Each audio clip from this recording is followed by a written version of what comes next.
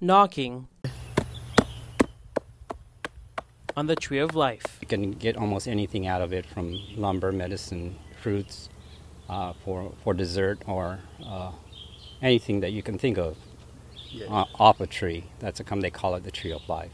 But that life is now at risk. Rhino beetles were first found on Rota at Tweksberry Park in 2017 near the West Harbor Marina. They believe they came here on a boat for either cargo, tourists, or fishermen.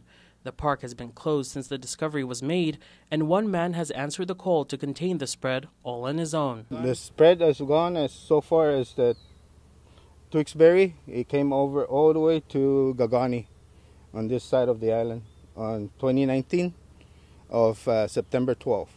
That's on a Saturday.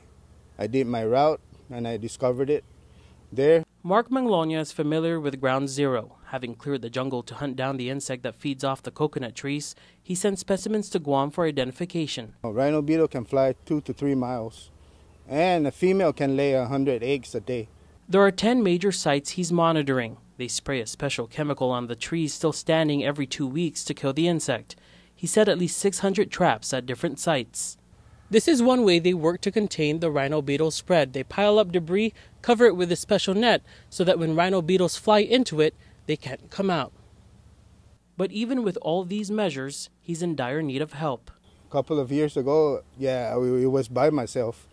And I've been asking for, like, you know, help or hire another employee for me to do it, but I, I stuck in there.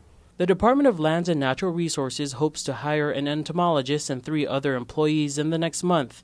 Mark says he does not want to see the island's most precious resource disappear. That's a tree of life, you know, for the islands. Thomas Manglona, KUAM News, Rota.